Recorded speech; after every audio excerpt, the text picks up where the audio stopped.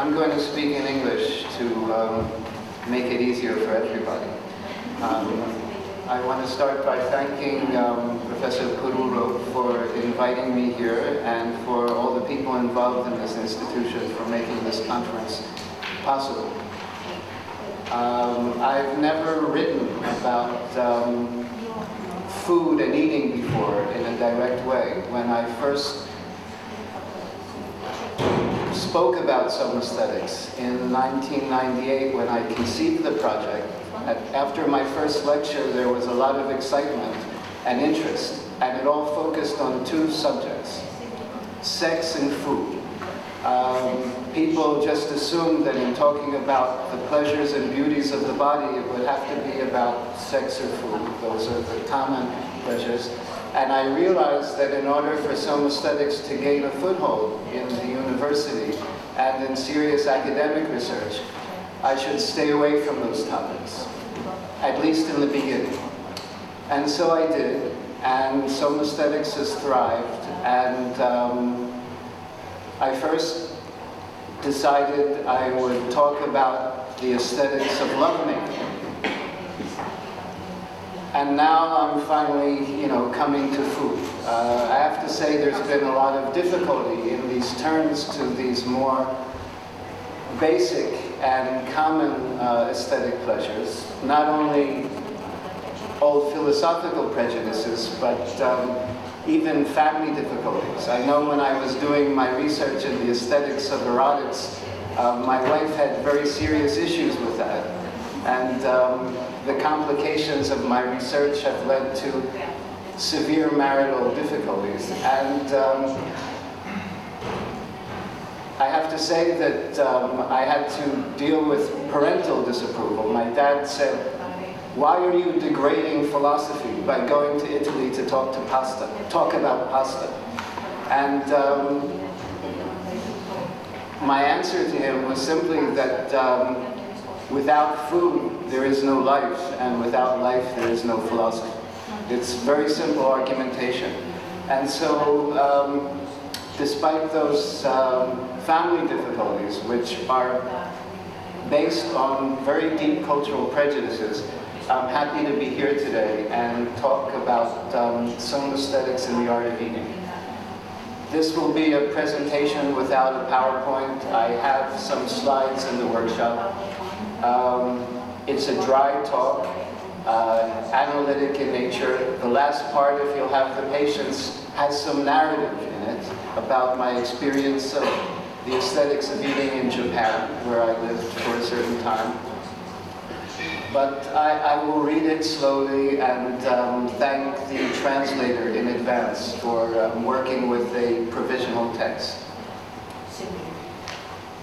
The 17th century French aphorist uh, La Rochefoucauld, who sometimes traded his witty maxims for tasty dishes and recipes, famously remarked, Manger est un besoin, savoir manger est un art. Eating is a need, but knowing how to eat is an art. Today we find many texts that speak of the art of eating, sometimes with impressive erudition and brilliance but they do so without adequately clarifying the exact referent of that term, the art of eating, which is actually ambiguous. Very often, the art of eating serves as a general term to cover the entire field of gastronomy. But my aim in this paper is to introduce more precision in gastronomical theory by focusing on the art of eating in a more restricted sense, and by distinguishing that sense from other meanings of the term. For economy of exposition, I will use the term eating in the broad sense that includes drinking. And I will likewise use food to include drink. It is noteworthy, however, that in China, perhaps the oldest and historically richest of food cultures, already in ancient times, the Chinese had a term that combined food and drink. It was called yinshi. In considering the aesthetics of gastronomy, one can focus on at least three distinct, though closely related and sometimes overlapping elements. First would be the diverse and often complex processes, methods, aims, criteria, and experiences in preparing food. This can include also the preparations for the presentation of food, with their accessory implements, such as crockery and cutlery on the table. We could call this dimension the art of cuisine and divide it into food preparation and presentation. Second, aesthetic study and discussion can focus on the food and drink objects themselves in terms of their properties relevant for aesthetic experience and judgment.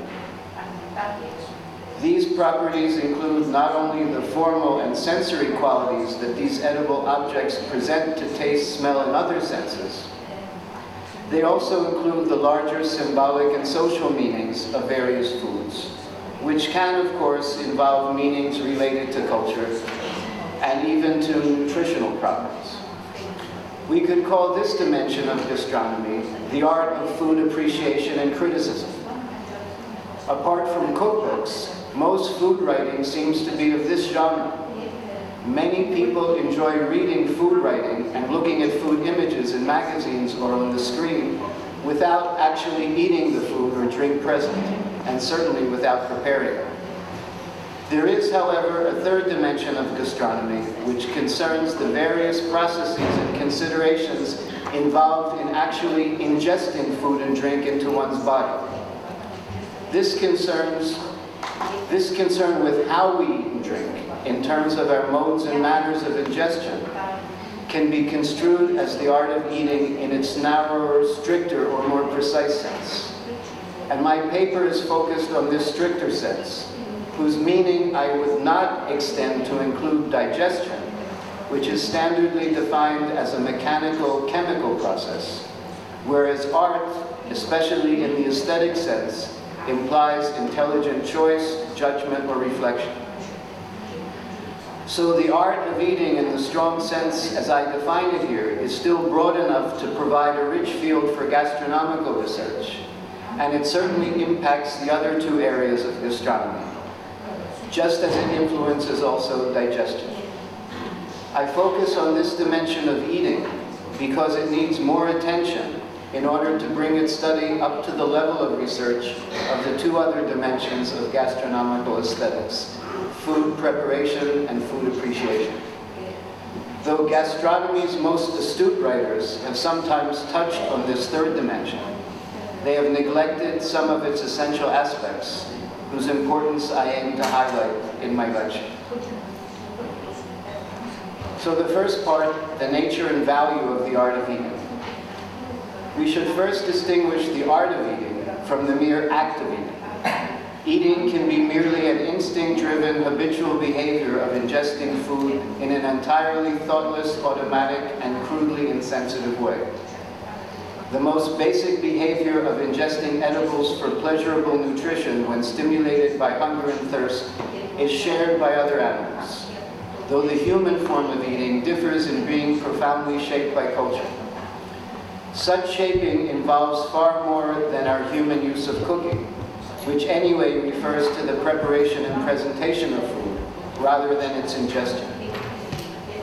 Human culture, through its use of language, enables us to name or identify what we eat, and thus better select, communicate, acquire, and critically evaluate our food choices, and thus organize our ingestion of them in an orderly form or sequence that adds meaning to the act of eating. The very notion of linguistically defined meals, such as breakfast, lunch, and dinner, rather than haphazard foraging and feeding, reflects this cultural imprint on the way we eat. So do the linguistically defined notions of sequenced courses, such as appetizer, entree, dessert, or the distinction of main dish and sides that organize our eating experience. Animals clearly lack such order, structure, and meaning in their food consumption, which is why some theorists prefer to say that animals simply feed rather than eat.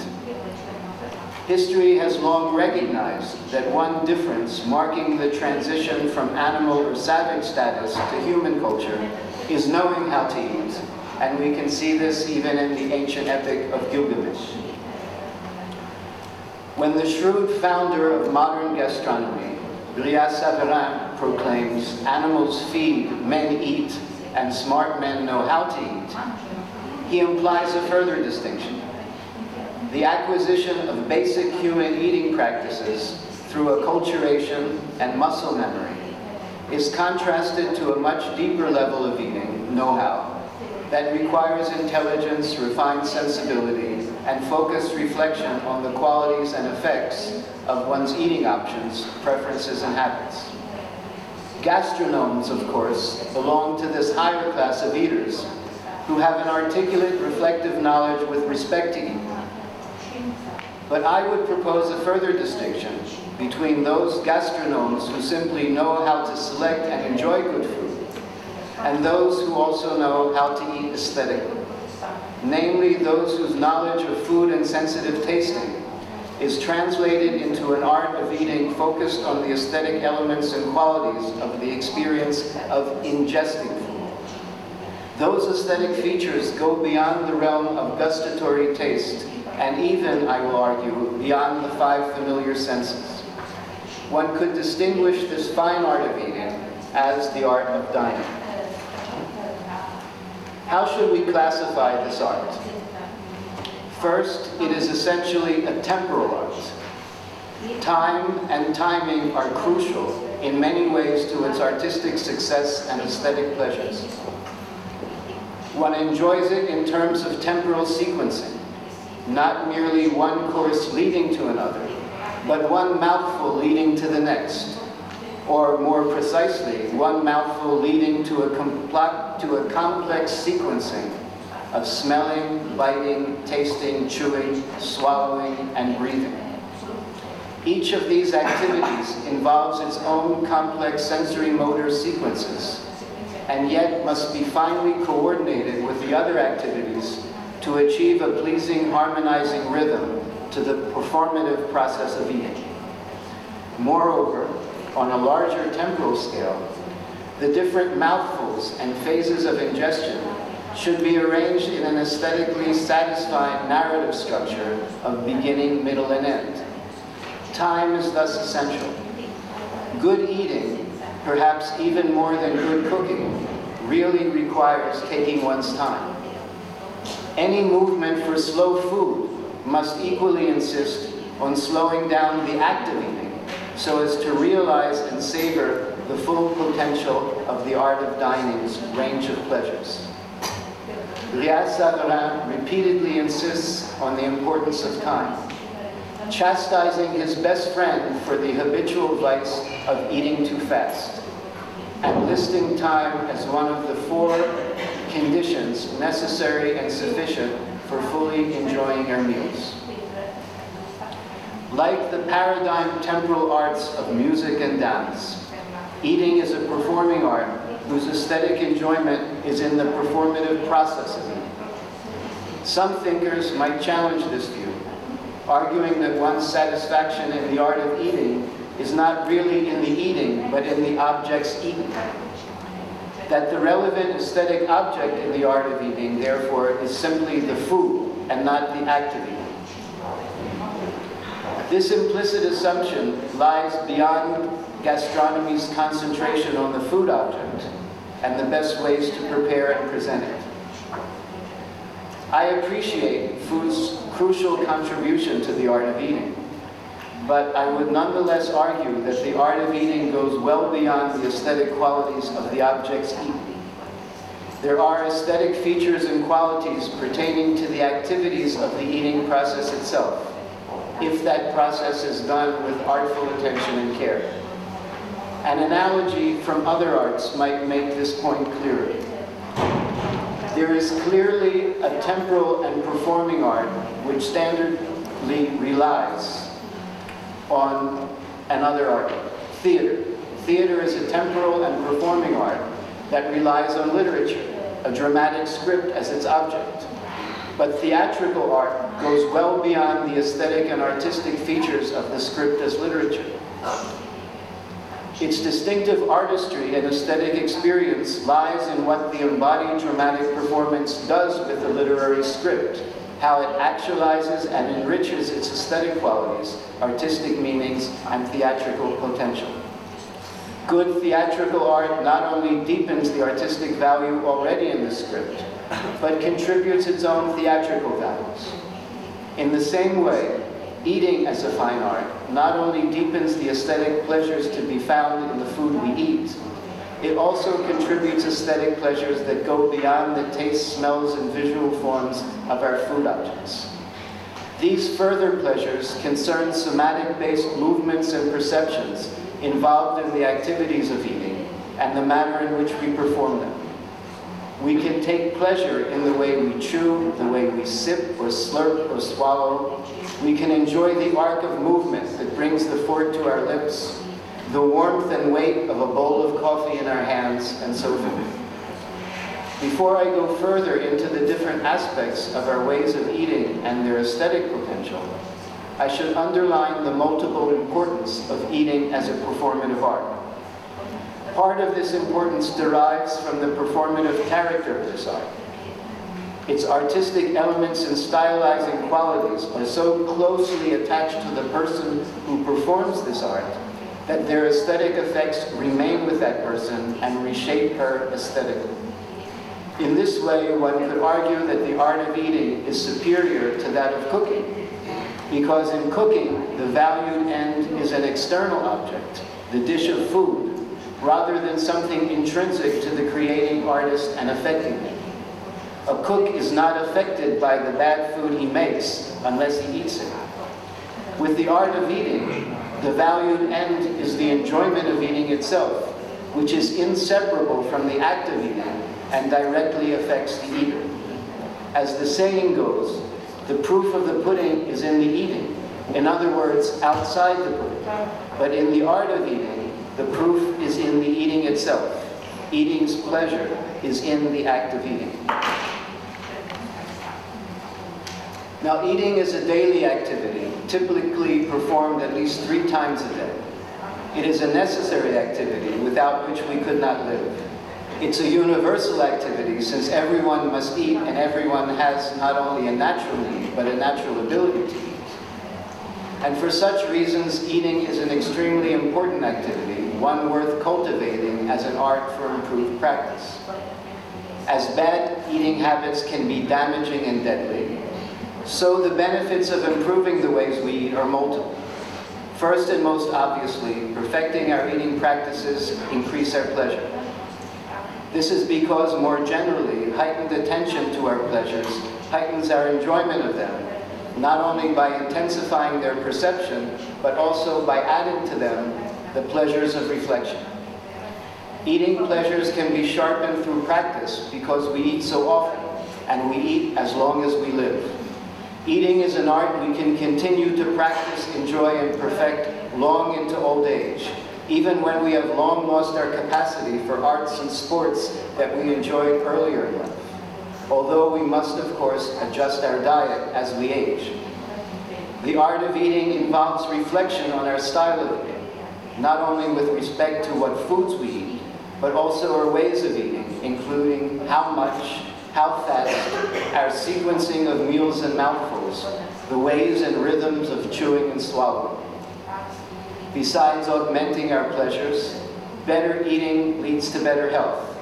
By improving our choices in what we eat, we provide the body with the right balance of nutrients while avoiding foods that disturb our digestion, drain our energy, or otherwise impair our proper functioning of body and mind. It prevents obesity, and it goes beyond mere health to enhance one's somatic appearance. This is not merely with respect to one's figure. Smart eating can promote the glow of smooth skin, the textured luster of hair, and the radiance of healthy energy. Nor is its impact on appearance merely visual, since what or how we eat can strongly affect the odors and even the sounds our bodies eat, our bodies make. Think of onions, garlic, or beans. If we recognize that to some extent, as Feuerbach remarked, we are what we eat, then a reflective art of eating serves to advance the philosophical aim of self-knowledge by making us more aware of our eating habits and how they affect both us and those others who share our meals with us. For the gastronomical art of eating, such self-knowledge is more than an end in itself. It serves a practical, meliorative means toward the aims of self-perfection through improved self-regulation and artful shaping or aesthetic discipline. Knowing how we eat is a step to learning how to eat better, with greater awareness, enjoyment, grace, and understanding. And such achievements can give us not only aesthetic pleasures, but also the ethical satisfactions of self-mastery and self-cultivation. As a daily habit governed by desire and ultimately grounded in our strongest instincts of survival, eating provides an excellent medium for shaping the self and its powers of choice, introspection, taste, discrimination, order, and discipline, and willpower. Its value for self-knowledge and self-care should not obscure the social benefits of an art of eating. Human eating is intrinsically a social practice, even when one dines alone. But most of our eating, and surely the most important eating, is done in the company of others, where artful eating not only adds pleasure to one's own dining, but improves the enjoyment of one's dining companions to create distinctively social and communicative aesthetic pleasures of sharing an informed and reflective appreciation of the dining experience, an experience that goes beyond the taste of food. Many gastronomical theorists therefore emphasize the social pleasures of eating, insisting on proper company as one of the necessary conditions for the best delights of gastronomy. What they emphasize is, what they emphasize are the pleasures of conversation from good company. I, however, would also insist on the non-discursive visual pleasures of seeing their companions eat with both gusto but also refinement through intelligent and graceful movement in handling the food they share together, whether in ingesting it themselves or passing, placing, or pouring it for others. And I would further insist on the diner's own proprioceptive pleasures of participating in such coordinated movement through their dining actions. Such artful reflective dining, through such artful reflective dining, a meal becomes an artwork of improvised group choreography, whose silent yet communicative harmonies not only serve as a means for efficiently coordinating food ingestion, but can provide powerful pleasures in their own right. At the end of my paper, I'll give an example of such dining. But first, I'd like to articulate some uh, of the dimensions of this artful eating. Perfecting sensory perception through heightened sensory discrimination and transmodal sensory appreciation is perhaps the most distinctive way that the art of eating contributes to somaesthetic self-cultivation. Gastronomical theorists have frequently highlighted eating as a multisensory experience that provides the skilled gastronomer an object to be appreciatively savored both as a source of pleasure and as a place for perfecting her senses by honing her perceptual discrimination and acuity. Brillat Savarin repeatedly insists on the essential perfectibility of the human senses while advocating the role of sensory transmodality in perfecting sensory perception. Different senses combine and integrate to aid each other. And with taste, the example is smell. Taste is very highly um, reliant on smell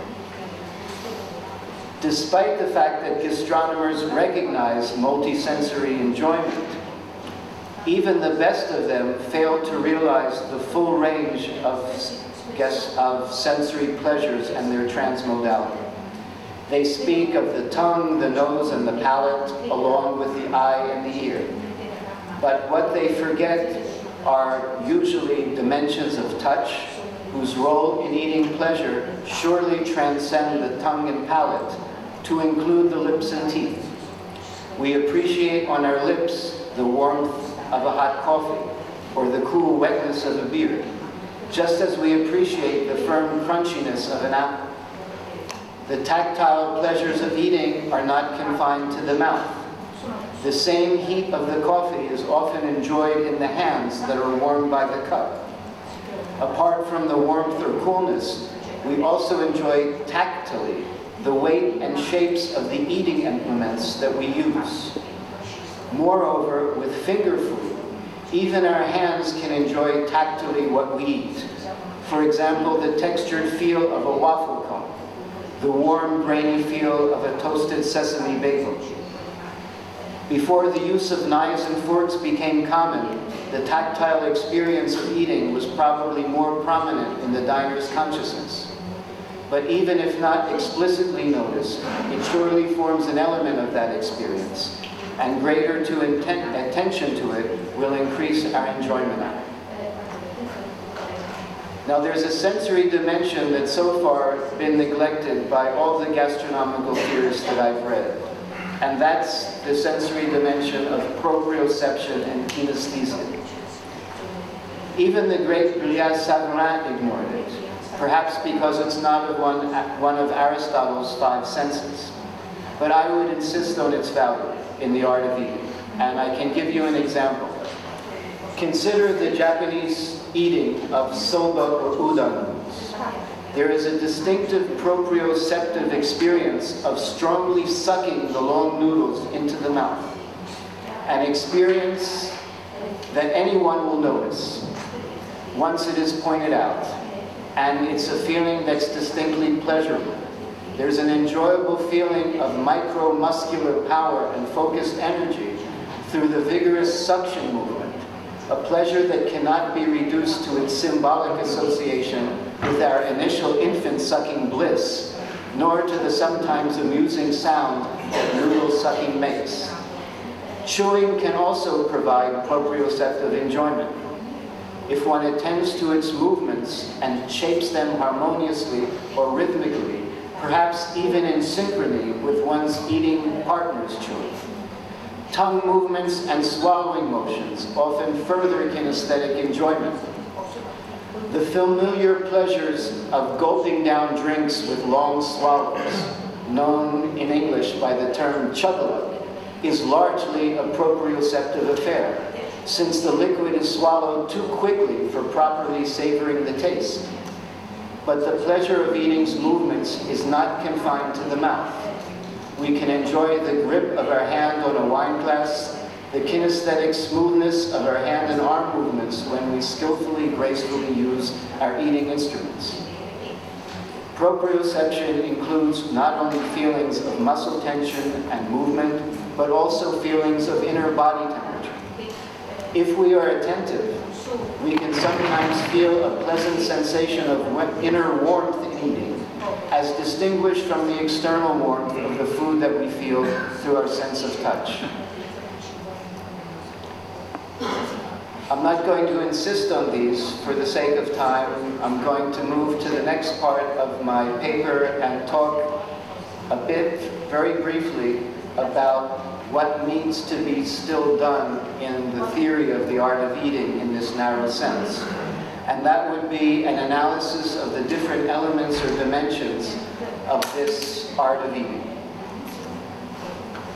There won't be time for me to give a full analysis, but I'll start with a minimal classification of basic categories, along with some comments about one of the categories.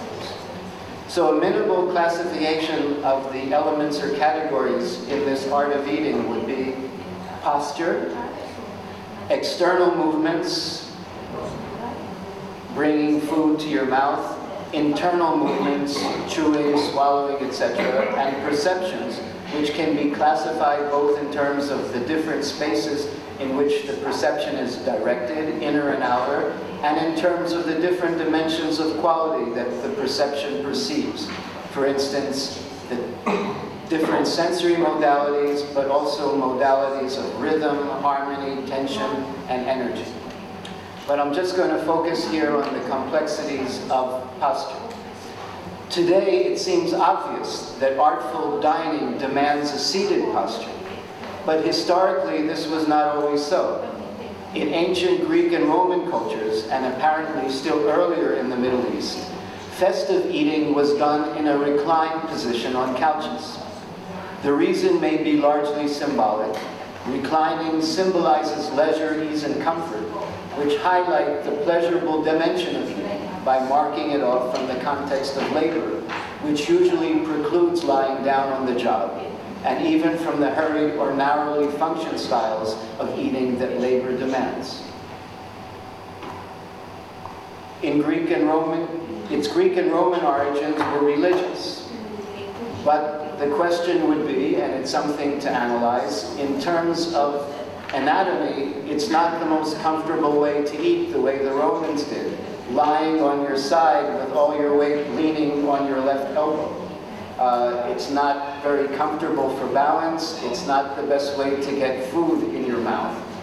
But um, even though today there's probably universal agreement that it's best to eat in the sitting position, and this may be not the product of our rationalizing the art of eating, but again, a product of religion. Christianity's belief that the Roman way of eating on the side, lying down, encouraged immoral and uh, sacrilegious um, sensuality and the sin of sloth or laziness since you're lying down. And so the reasons that we began eating upright are probably religious and not hedonistic or anatomical.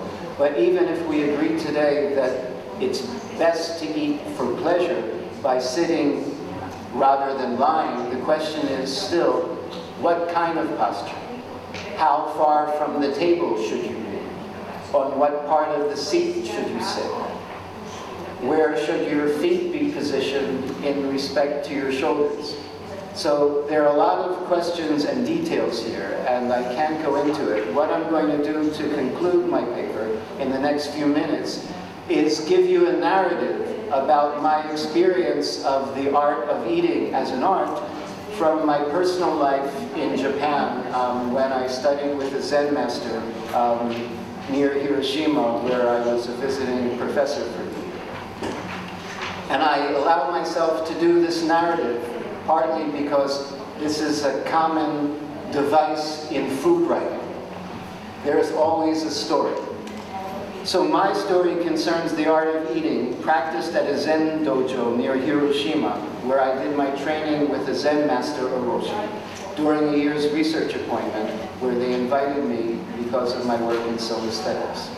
And my story exemplifies how Zen mindfulness can transform everyday practices into beautiful performative arts of living through awakened attentiveness of mindful performance. On the one hand, our meals were paradigms of ordinary simplicity. We sat on the floor in the kitchen around the humble low wooden table with no one formally serving us. The food was plain and unimaginative though of passable taste, and it was presented in the most simple and unadorned way. The crockery and cutlery were equally humble, the kind that one could find in a Japanese dollar store, and they were old with use and sometimes even slightly chipped or damaged. But in contrast to this bare ordinariness of stage and props, the actual action of the meal was extraordinary in performative grace and thoughtful elegance, as each movement was meant to be executed and experienced as the focus of careful, mindful, loving attention. Rather than simply being necessary breaks for physical nourishment and relief from the trainee's essential activity of meditation, the meals at the Zen dojo were in fact an extension of our training in awakened awareness but by other means than sitting meditation, and in other venues than the meditation hall or zendo. Meals were a place where we could demonstrate awakened mindfulness in active everyday movement rather than in mere meditative sitting. And we would do so in a challenging context where our appetites and unconscious habits were fully aroused by the food, and thus especially potent for distracting our focused attention to the present moment of our performed movements and experience, which was also a collaborative experience of eating with others. As we ate, the Master's penetrating and authoritative gaze would gauge our progress in mindful awareness from the quality of our eating style, from the grace of our movements, the way we handled our bowls and chopsticks, how we chewed and swallowed our food, how we passed food to our eating companions, whether we noticed when they were interested in receiving a dish that was in our reach. Knowing this Zen master was judging our mindfulness in eating, we trainees would also critically examine each other's dining performance while seeking to maximize the mindful grace of our own eating style. The result was that everyday ordinary meals became an extraordinary experience of mindful coordinated action. A sophisticated, elegant choreography of dining movement pursued with heightened attentiveness to graceful movement and careful respect for one's comrades and one's food, as well as for oneself and one's teacher, the Roshi or master. Now for me, meals posed a special challenge. This was not because of the dojo's rustic Japanese cuisine that was very different from that typical Japanese restaurant food and had its funky features. I was accustomed to such food, having married into a Japanese family that cherished all varieties of traditional Japanese cooking. Had I not been able to enjoy the dojo's food, I could have never survived there, since one was obliged to eat all that one was served. One trainee who did not finish his raw squid at dinner found the remains of that squid on his plate the next day at breakfast. My special dining challenge, however, was to eat with graceful, mindful elegance, since I knew that my habitual manners of eating were rather careless, casual, and often sloppy. I also knew that the master Oroshi would be paying close attention to my eating style, since at our very first meal together, he shocked me by his brutally frank critique of it. You're technically quite skillful at using chopsticks, he noted, perhaps because your wife is Japanese. But for a professor of aesthetics, he continued, you eat in a most ugly manner. I felt my breath stop and my face flush red. I did not know what to say, but fortunately, Roshi continued by explaining that my technical competence in using chopsticks was ruined by the sloppily thoughtless manner in which I picked them up and put them down, but also by the graceless way I handled my rice bowl and teacup. The inelegant positioning of my hands on these vessels and the ungainly postural manner in which I brought their contents to my mouth. He then patiently showed me what he considered the aesthetically proper way to pick up and put down one's chopsticks and to hold one's rice bowl and cup. When I tried to emulate his method, inaccurately at first, he showed me and explained again until I grasped the principles, which I subsequently applied in practice. Everyday dining thus became a challenge in dramatic performance of mindful grace and movement, of aesthetically elegant eating through awakened appreciative awareness of all one's actions and feelings in taking one's food and drink. At first I was terrified. If my days were full of meditation, my nights were troubled by nightmares of soiling my new white training shirt, or dogi, with food dropping clumsily from my chopsticks or dripping from my careless drinking mouth. With no other shirt to change into, the shameful stain of my mindless, ugly eating would always remain exposed to Roshi's scornful condemnation and ridicule of my fellow trainees. I thus resolved to eat as carefully, deliberately, and mindfully as I could, despite being worried that my actions of eating would be rendered still more awkward by paying attention to them. In physiology and kinesiology and sports science, there's a common belief that if you pay attention to your action, that will render your action more clumsy. In other words, don't think about it, just do it, and you will perform with smooth spontaneity. I was very worried about that, but since I had already spent so much time and effort in finding a Zen master, I decided I would make the effort of thinking about every mouthful I took and every moment of chewing. And I realized that it didn't ruin my coordination. That by developing the consciousness of what I was doing, I could actually eat with greater grace and proficiency. And at the end of a week, I was surprised to find that my white dogi was unstained by food. And that experiential lesson gave me confidence um, to advance the thesis that it is not impossible to pay attention to what you're doing, to do your bodily movements with greater awareness and still maintain a smooth spontaneity of action. And I developed those arguments in a more philosophical medium in my book Body Consciousness, which will be coming out next year in Italian. And I conclude by just saying that my way of doing philosophy is to learn from the actual experience and then finding arguments to explain that experience rather than from reading texts or listening to them. And so I thank you for your patience in hearing me, and I hope we all together have a beautiful um, gastronomical experience here in Convergence Pollenzo. And please don't let my lecture disturb you from the joy of eating. You can practice the attentiveness at home.